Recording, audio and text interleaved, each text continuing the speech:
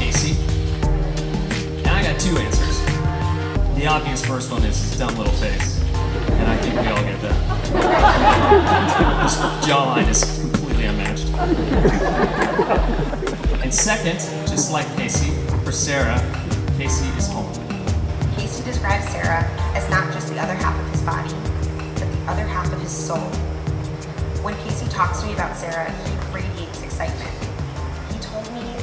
Proposed to Sara, he had zero doubt in his mind that she is his person. By the power vested in us by the state of the internet, we now pronounce you husband and wife.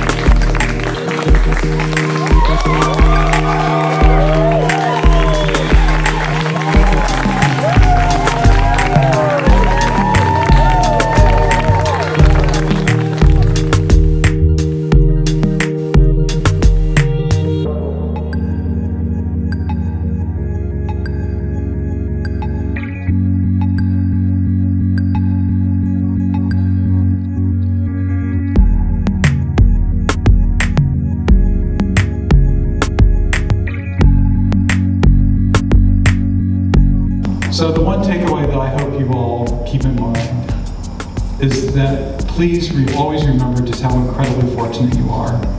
That out of this random universe that we live in, you all found each other. And always take the time every day to be grateful.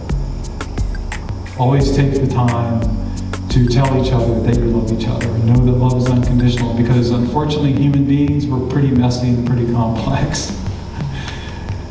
and it's hard work. But I can tell you after 36 years of marriage, it's well worth it. So cheers to Casey and Sara.